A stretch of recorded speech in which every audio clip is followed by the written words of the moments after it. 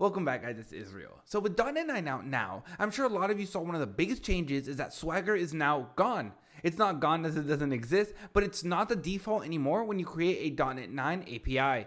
So why did they do this? It's because while Swagger still works, it's not being actively maintained and cared for by its community owner. So nothing's really getting fixed or resolved, and there wasn't even an official release when .NET 8 came out as well as a .NET team want to cut down on third-party dependencies, which makes sense because they've been working on and developing their open API package, which is now what comes installed whenever you look at your program.cs. This open API package can generate documentation for an API, but it's just not pretty like Swagger used to be. So while you can go ahead and just install Swagger again, I have another option for you that's well maintained and very pretty to look at with a lot of other cool features, and it's Scalar. But quickly, I just want to give a shout out to all my channel members. If you guys want to see your name here, as well as get access to whatever code from whatever video on my channel, click the link in the description or the join button on my profile, then send an email to this email on screen with the code that you want access to. But now, to continue the video. So with that being said, I've now moved over to my .NET 9 API and I'm already running it. So let's open this. And as you guys can see, this looks a little different from Swagger. It's because it is Scalar. But let me explain what is Scalar. So Scalar is another open source API documentation platform that gives you a very friendly user interface, as you guys can see, that makes it very pretty to look at. And you can change all the themes and do a lot of other fun stuff that I'm about to explain. It's very similar to Swagger, but it has some very key differences. And it's again very easy to install with just a NuGet package and like one line of code if you want just the base version. So first to actually get to your Scalar documentation, you would go to backslash scalar backslash v1. So then you would have something that looks kind of like this. So .NET 9 API is the name of my project, and then V1 is the name of like the default uh, document. So on the left right here, you're gonna have your controllers, your endpoints, and your models.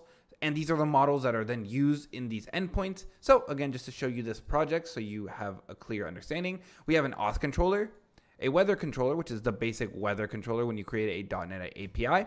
And then here we have our weather forecast and our user model. So user, and weather forecast. So super basic stuff, but that is all being shown right here. And then over here on the left, we have our two servers. So right now for localhost, uh, local development, I have 44303, so I'd want to switch to that. And then right here, we have client libraries. Why do these uh, come into play? It's because if we have that right here, it actually generates us uh, C sharp code that we can then interact with these endpoints. So I think that's actually super duper cool. And with maybe some tweaks, you would actually have usable code here and you don't have to, you know, do it on your own. And with that being said, again, we have that auth login here that tells us requires a username and a password in the body because we are using that user model and that user model has both of these as required. And then we have weather forecast here with some information on what actually all of these are, and that's coming straight from the model. And then we are using that in here, and as well, it generates some code for us. So now after this quick little tour, let me show you guys how to actually install Scalar. So to do that, you're gonna go to your package manager and then you're just gonna look up scalar.aspnet core, install the most stable version, and you're good to go. And then to actually get it in your app, you're gonna go to program.cs, scroll down here under the map open API, and you're gonna add app.mapscalar API reference. And if you don't want any options, you could do something like this, and that would work. But now let's look at all the options. So first of all, I just did the title. So I ended up setting my Scalar UI hi YouTube. So if I run this again, we're going to be able to see that title at the top. So looking up right here, you see my Scalar UI hi YouTube. So that's the title I said here. This theme is not the default theme. Uh, it's actually Blue Planet, and they have a bunch of different themes uh, that you can go through all here. I won't go through all of them, but you can change the theme if you want. Another cool thing that Scalar has by default, if I open this here, is down here they actually have a dark and light mode. So you know how Swagger will just burn you with a light mode? Well, they have a dark mode, and obviously here I have the actual theme over it, but if not, it would just be dark. Uh, and you can toggle between that, and you can disable it if you want and set it always to dark mode as well. Uh, it's up to your personal preference. You can actually do custom CSS, and you can hide or show that sidebar. That sidebar would be this thing over here this thing right here, the default HTTP client, is set to C sharp here, and that's essentially setting this right here so that we're automatically using C sharp because this is a C sharp API. So we would like to see C sharp code in here unless you were to have it in some other, so maybe Node. So it would give you like Node to then hit this auth endpoint, but that would be up to the front end, the project, whatever your situation is. But that's where you would customize it in here. And then there's a lot of other different options that you can set. And I can show you guys some in here. So if I go into options, you can set your servers. You can again set metadata. You can hide models so that they don't show up at the bottom. Uh, you can again toggle the dark mode and do a lot of different things. I'm going to link all the documentation for all these different options uh, down below in the description. So with that being said, let me show you just a quick demo of this actually hitting some of my endpoints uh, because I'm sure some of you will want to know that, hey, this actually works, right? So let's actually try and log in here. So I'm gonna actually do a test request. We're gonna click this. So we want to go ahead and switch this to 44303 because that is localhost.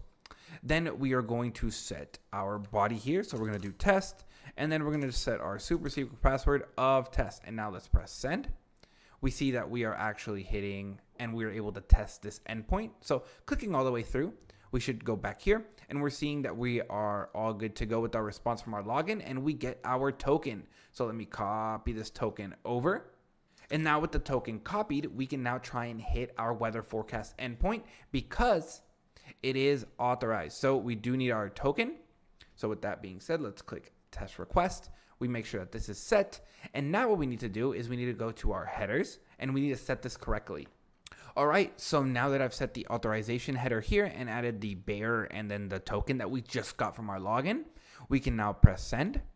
And we see that we get 200 OK. And in the body, we actually get our forecast data. So we were able to generate a token and then use it as a header in here.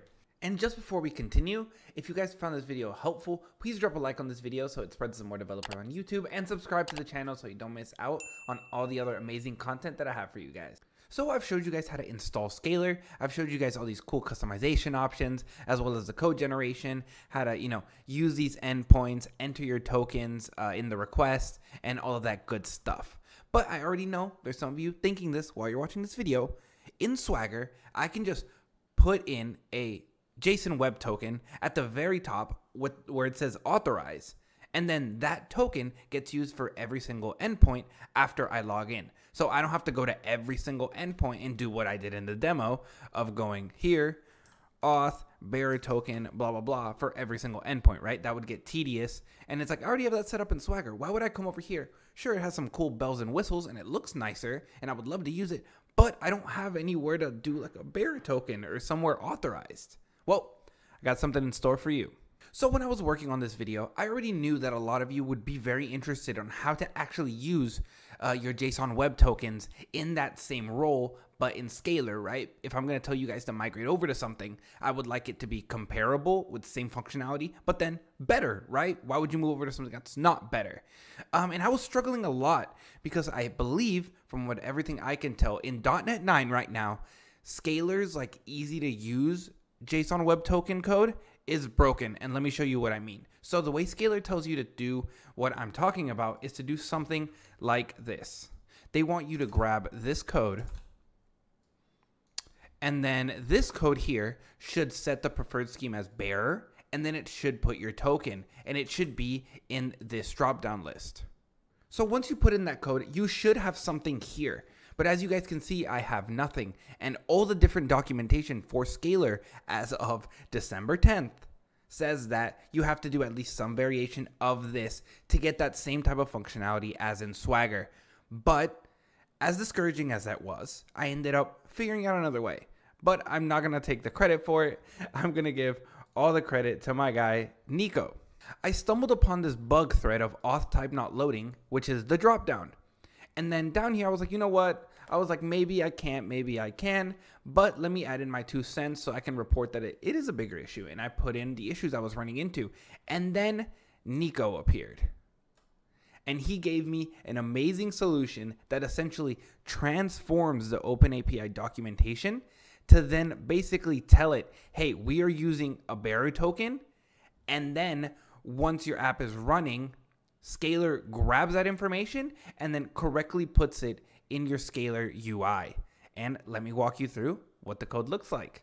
So what you have to do in your project is going to be the following. So you need to grab this code and put it in here. So you're just going to put the document name and then you're going to set their options. You're going to create a document transformer called Bearer Security Scheme Transformer. So you're going to create that class.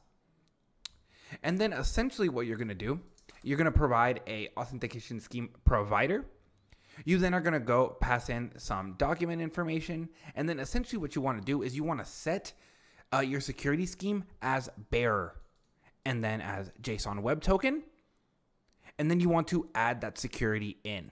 So once you have this code and you have it put into this program right here, program.cs right here, once you have that, that's all you need to add. You can get rid of this garbage code that doesn't work right now. Maybe in the future it does, but right now it doesn't. So now let's go ahead and check if Nico's code actually works. So with that being added here, and this is everything we needed to add it in the program.cs, let's run the API and check what happened. Okay, so now that this is loaded, I'm sure you guys see something a little bit different, and that's that now we have this bearer authentication token right here. So if you guys have worked with the Swagger version of this, it also asks you for the token, and then it uses that throughout your endpoint calls. So let's go get a token, and let me demonstrate it. So we're gonna go back to our login here. We are going to get a new token. So we're again just gonna do test. Now we make sure that this is correct. We send, we get our token. So now let's copy it now that I have this copied token, we're going to go to the top and we're just going to paste it here. We can check to see if it's good. Now let's scroll down to our weather forecast. And now when we click here, we see that it already pasted in our token, so we don't have to do anything. So now we press send, and boom, we have this working. So I again will not take credit for this. This all goes to Nico for this amazing solution. Um, and with that being said, I have now showed you guys how you can do authorization, plus have all the cool and awesome customization features and options that Scalar gives you. So now it's just up to you if you want to go ahead and migrate from Swagger to Scalar. And with me so much talking about all these JSON web tokens and all of that good stuff, if you guys want to learn more about authorization and JSON web tokens, click on this video right here.